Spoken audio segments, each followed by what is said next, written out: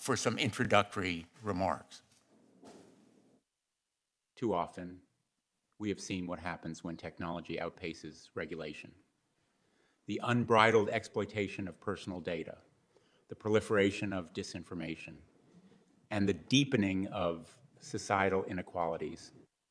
We have seen how algorithmic biases can perpetuate discrimination and prejudice, and how the lack of transparency can undermine public trust.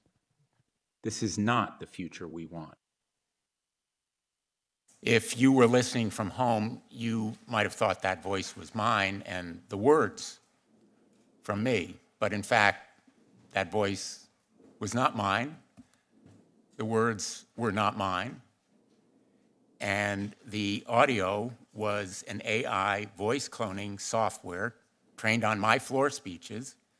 The remarks were written by ChatGPT when it was asked how I would open this hearing. The audio and my playing it may strike you as curious or humorous, but uh, what reverberated in my mind was what if I had asked it and what if it had provided an endorsement of Ukraine surrendering or Vladimir Putin's leadership? That would have been really frightening, and the prospect is more than a little scary